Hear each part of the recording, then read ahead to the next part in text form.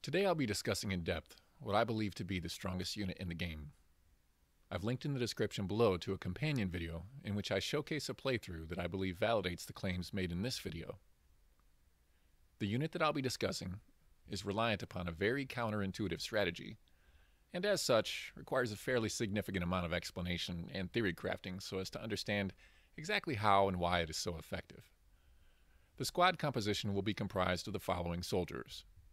At a minimum, you'll want to take one skirmisher, and three specialists slash medics. Now, optionally and optimally, if your squad can accommodate up to six, you'll also want to include one Reaper and one Sharpshooter. The reason this strategy is so unique is because it violates nearly every accepted best practice as to how to conduct combat in XCOM 2. The entire premise of this setup is to only send your skirmisher into range of the aliens. I don't care how many enemies there are. I don't care if it's the scariest combination of aliens that you've ever dreamt of. If she isn't alone, it won't work. You want her to be the only one that the enemy focuses all of their attention on. You want her to get shot at as much as possible every single turn. And being that this is XCOM, that isn't usually very hard to accomplish. Depending on the nature of the mission, the remaining soldiers, with the exception of the Reaper Scout, are usually either left in the starting area, or I will perch them high atop some faraway building and let them get a good view of the carnage, whilst occasionally throwing in a pot shot if someone strays too far from the fray. Or, on timed missions, I'll often split the map into two distinct sides and run one group along one edge of the map, and the lone skirmisher along the other side. The skirmisher will spend nearly every turn doing the same things over and over again once she has encountered the enemy. She will either be moving with the first action or reloading with the first action, but she will almost always be hunkering down with the second action. That's it. The temptation may exist to do much more, but don't. That is until you get the hang of it. Just hunker down. It's pretty dummy proof. When she moves, you should always prioritize moving towards the objective into cover, and directly adjacent to an enemy, preferably more than one. Secondarily, you want to pop as many pods as you can. Yep, you heard me right. You want your skirmisher fighting as many aliens at one time as she possibly can. And right about now, I, I think I know what you're thinking. You're likely thinking, you know, I don't think this guy's ever played XCOM before. Or maybe Maybe he's trolling us into killing all of our skirmishers out of some misplaced hatred that he has towards the character class. However, I'd ask that you withhold judgment on those thoughts until you hear the logic behind it. In order to best understand how this strategy works, one must delve deeper into a seldom explored subject in XCOM 2, and that is the stat known as defense. Because XCOM 2 has been traditionally viewed as an Alpha Strike game, the conventional wisdom has always been that it's best to eliminate any visible enemies prior to the enemy having a chance to act. And whilst this strategy is certainly a sound one, it is not always achievable, especially for novice players. And horror stories of the RNG gods wreaking havoc on an otherwise tactically sound plan litter the community posts. However, given the right set of circumstances, defense can be a much more meaningful stat than we would be led to believe. In order to understand its importance, we have to first understand what defense actually does. The defense stat is directly subtracted from the shooter's aim stat in order to determine their chance to hit, with a plus or minus for any weapon range modifiers on top of that. The following are examples of things that can provide defense, and take special note of the fact that these bonuses do stack with one another. Half cover provides 20 defense.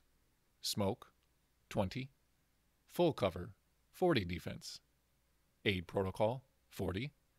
Hunker down, 30 defense. Thus, with those numbers in mind, let's envision the following scenario. Picture a unit that hunkers down in a position of half cover and then has aid protocol applied to it. That unit's defense would be 90 until their next turn. That means all aliens that attempt to shoot at that soldier would have their aim stat subtracted by 90 in order to determine their chance to hit. However, as many of you are aware, the aliens can negate the cover bonus by acquiring a flanking position on that soldier. But as many of you may not be aware, this does nothing to negate the bonuses conferred by either Hunker Down or Aid Protocol. Thus, if the very same soldier were flanked by an alien, he would still have 70 defense and apply that substantial reduction to the enemy's chance to hit. And when you think about the fact that on legendary difficulty, outside of the avatar, no alien's aim stat is above 80. So, with that fact in mind, it isn't hard to see why you won't be getting hit very often with the employment of this strategy. Additionally, the hunker down action negates the enemy's chance to land a critical hit. Thus, even if they were to connect with a shot from the aforementioned flanking position, the damage would likely be extremely manageable. But, were that not already enough, Hunker Down also confers 50 dodge. This dodge amount can be combined with other dodge increases the soldier may have acquired, either through equipment or through covert ops, and can be increased to the point where all hits that do make it past your defense become grazed shots and do further reduced damage.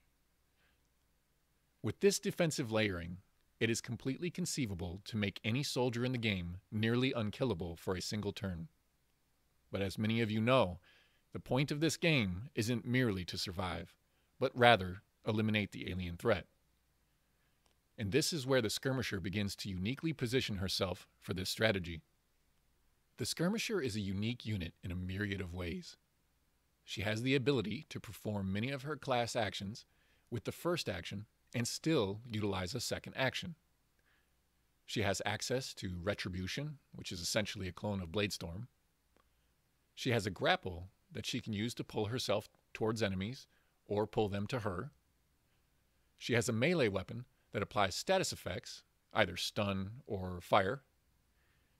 She has a skill that makes enemies that target her have a chance to panic if they do so. She is an adversary to one of the chosen, and therefore does additional damage when engaged in combat with that one. And she frequently has access to a skill that makes this build really thrive, and that is the sharpshooter skill of Return Fire, which can often be acquired through the training center as a purchasable XCOM skill. Since she can easily be made unkillable via the application of the aforementioned defensive layers, she unlocks the true potential of Return Fire, Judgment, and Retribution to deal massive damage to would be attackers.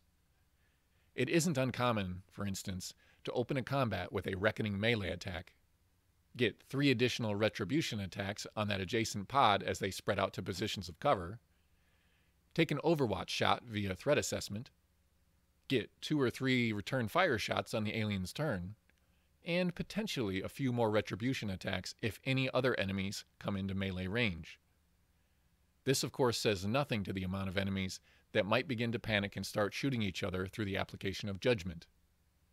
All of this whilst frequently receiving little to no damage in the process. This process of charging the enemy's position and hunkering down can be repeated time and again, and the aliens will continually try to hit you in vain whilst receiving a steady stream of damage for their efforts. The only imperatives that must be followed every turn are that the skirmisher must continue to move directly adjacent to aliens and towards the objective in a timely fashion, must be in cover and hunker down, and must have aid protocol applied. The rest mostly takes care of itself. Of note, it is recommended that you develop a Tier 3 bond between the skirmisher and one of the other party members, because of the ability to grant two additional actions throughout the mission to the skirmisher this vastly increases the number of tactical options that the skirmisher can deploy in the heat of battle. As you can see here, the optimal equipment for the skirmisher using this strategy is as follows. As for abilities, the following abilities are recommended.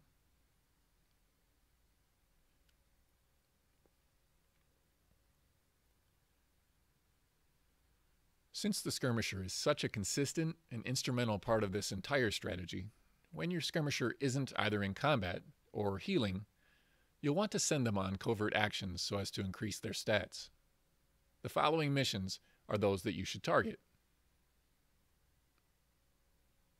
Now, there are those that will point to the fact that some of these optimizations and abilities that I have referenced here come late in the skirmisher's development, such as Judgment, for example. However, this strategy does not need those optimizations in order to succeed, and it grows nicely as the mission difficulty increases. Right about the time when some players are starting to feel a bit stretched thin with their conventional squads, either due to fatigue, negative traits, injuries, or heaven forbid, a squad wipe, this strategy becomes a completely viable plugin that can be used to aid in giving those more conventional squads some much needed recovery time. With the exception of the skirmisher, every other squad member need only have acquired the rank of squaddie to make adequate use of the essential elements of this strategy.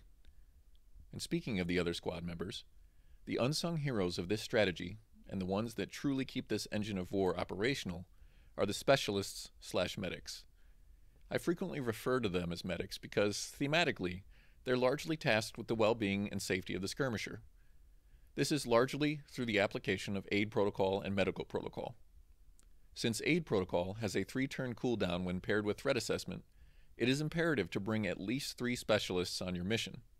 That way, they can rotate the task of applying aid protocol every turn in perpetuity. It is important to note that all medically based skills do not require line of sight or have a proximity restriction. Thus, all skills can be applied to the skirmisher regardless of her position on the battlefield. The medics will also be tasked with healing the skirmisher in the event that she takes damage from an attack that cannot miss, an area of effect attack, if she takes fall damage, or the random shot happens to get past her defense. Provided that a player is not taking excessive risks, it is exceedingly rare that that damage would exceed the amount that could be healed with one charge of a medkit, of which her group of three specialists will have 12 in total. Also, the remote application of the medkit will heal poison, so that too becomes a point of no concern. On the occasion that a Spectre is present on the battlefield and elects to use Shadowbind on the skirmisher, the specialist can also remedy that via the application of Resurrection Protocol. Rounding out the protection that she already receives from the Mind Shield, there is almost nothing that the skirmisher can encounter that cannot be solved from across the entire battlefield by the team of medics. However, lest one think that the medics are somehow the vulnerable party to this strategy, it would be foolish to underestimate their offensive power. Given the fact that aid protocol and medical protocol only take a single action, every specialist will have a remaining action that can be used for offensive actions each turn. From turning into a Guardian buffed Overwatch unit, to unleashing a volley of missiles or blaster launchers from their war suits, to hacking the entire battlefield, or just picking off every injured unit with combat protocol, the Specialist Trio are a force in their own right and every bit as dangerous as the skirmisher. Anything that erringly walks too close to them doesn't tend to live for very long. As you can see here, the optimal equipment for the specialists using this strategy is as follows. As far as abilities, the following are recommended.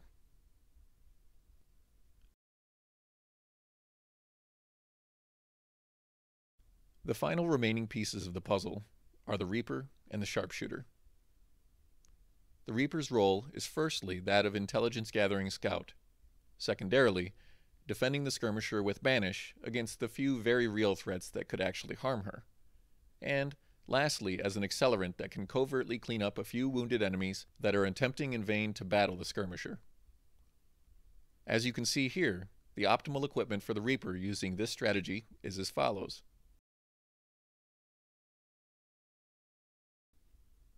As far as abilities, the following are recommended.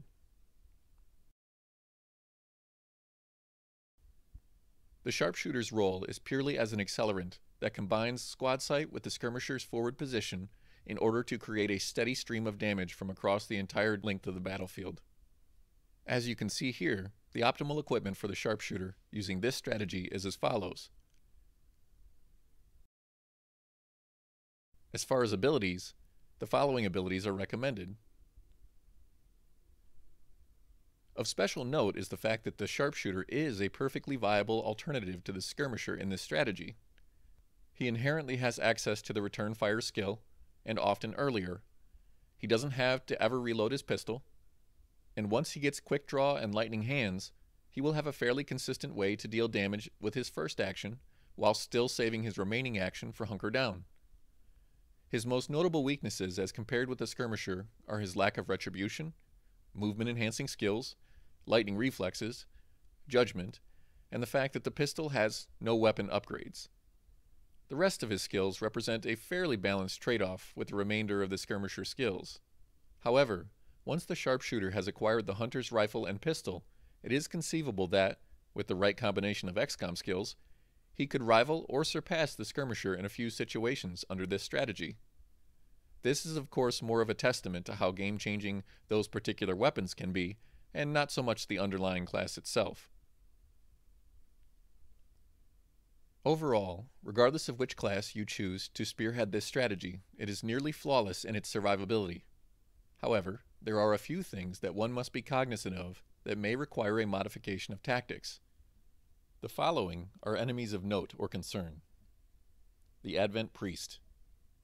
The priest only has one thing that is of concern to the skirmisher, but it is the number one consistent threat to this strategy. That threat is the ability of stasis.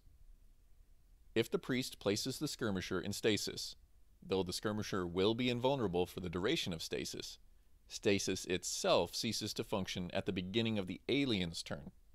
Because of this, you will be without hunker down or aid protocol for the duration of the entire enemy turn. And if you are surrounded by alien forces, as you likely will be, this will almost certainly result in the skirmisher's death. Sectopods. Sectopods are one of the few enemies that readily transitions to using their AoE attack, in this case lightning field, when their chance to hit a single soldier is too far compromised by your defensive layers. This can sometimes be mitigated by being on a different elevation level than the sectopod. But, if that elevated position is one that can be destroyed, the sectopod will gladly demolish it on its move and send the skirmisher crashing to the ground.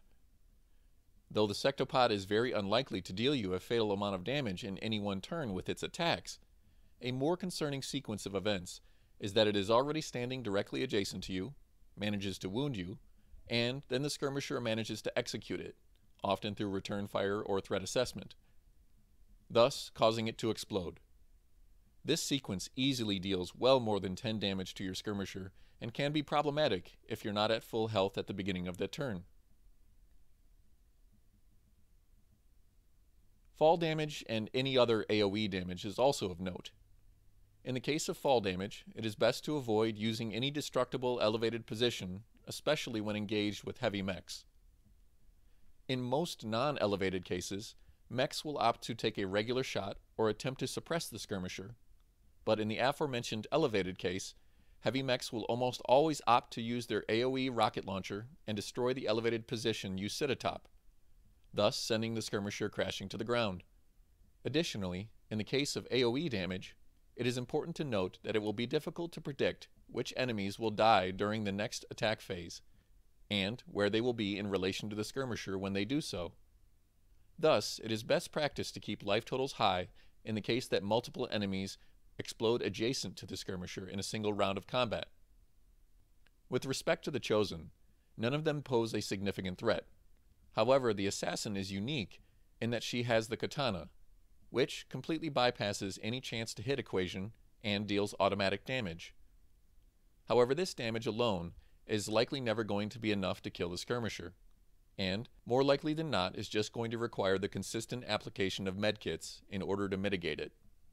And lastly, it is worth mentioning that though this strategy dominates two of the three alien rulers, the Archon King represents a significant area of concern and I would only recommend attempting this strategy to the most adaptable of commanders.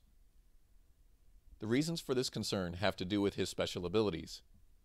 Firstly, the ability of Devastate is concerning because it represents an unavoidable AoE attack that will not only harm your skirmisher, but could also likely disrupt your medic's ability to continuously apply aid protocol if they find themselves too close to the battlefield and get caught in the AoE attack but most concerning is the Icarus drop, which could be best conceptualized as a form of stasis that also does damage to the skirmisher. The fact that the drop is completed on the alien's turn, once again, means that the skirmisher will be without her defensive stack and will have also taken a substantial amount of damage from the Icarus drop itself. Survival in this situation is unlikely at best.